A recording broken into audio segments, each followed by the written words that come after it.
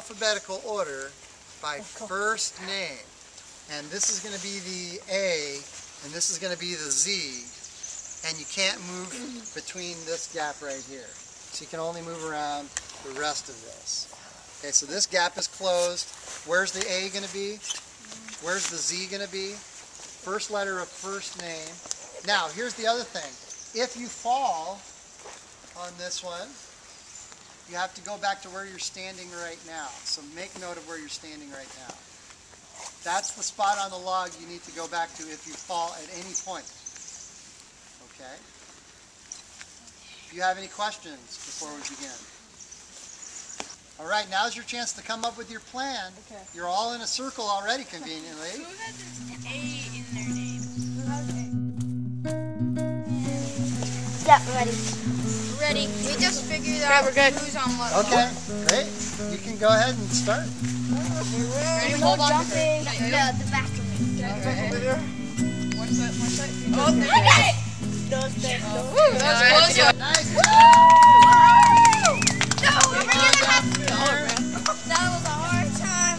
Come on over here. We're going to talk about this next piece over here. Here we did another one. This one is a really tough one.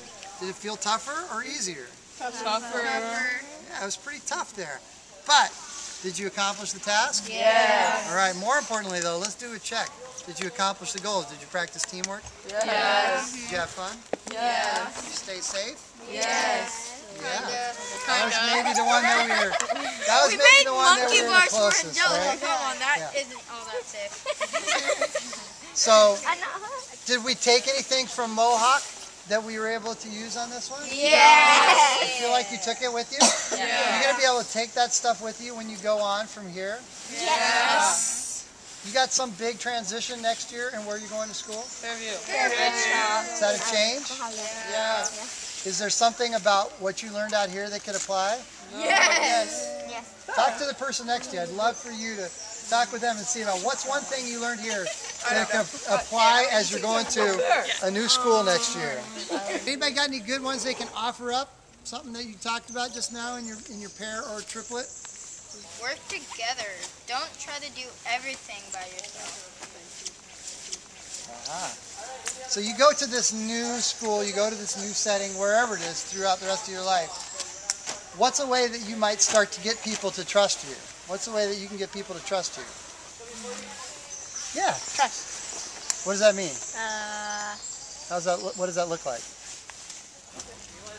like if you get I'll. Okay. So if there's something, if you see that I need something, you're gonna be paying attention and you're gonna offer help. Yeah. That's what you're saying. All right. That's a good one. Well, you got something? Being nice. Does that start to build trust? Absolutely. Right? These are the things like thinking outside of just yourself, thinking of other people, and offering yourself out. Right? That's what you did on these challenges, on these tasks, and that's something you can take with you no matter what. So we're going to finish up then, seeing a little bit about where you think that your contributions to the team were on the Mohawk Walk and on the TT Shuffle. So I'm going to send Liz down to that side there. And she's going to be the a lot. And I'm going to send Jen over here to this side, and she's going to be the a little. And everybody's going to stand somewhere in between. Here's what's going on. In between, there's a line. You can't really see it, but there's a line there. And you're going to stand on the line where you think that you were when I say something. Does that make sense? Okay, let's try that one as the first one then. Good listener. Put yourself where you think you were. Okay, here's the next one. Somebody who was planning ahead. This is the a lot, this is a little. Maybe that wasn't your strength, planning ahead. Then you go down that way. If you think you were thinking a lot about planning ahead, you go up that way. Look at that, everybody's in different spots again. Diversity is a strength in an ecosystem. Diversity is a strength in a watershed. Diversity is a strength in a team. And you've got that diversity right now. Diversity just means difference. You got it? You're in different spots. Okay, third one solving problems. Okay, when a problem came up, if you thought that that was the kind of stuff you really wanted to do and you were trying to solve problems,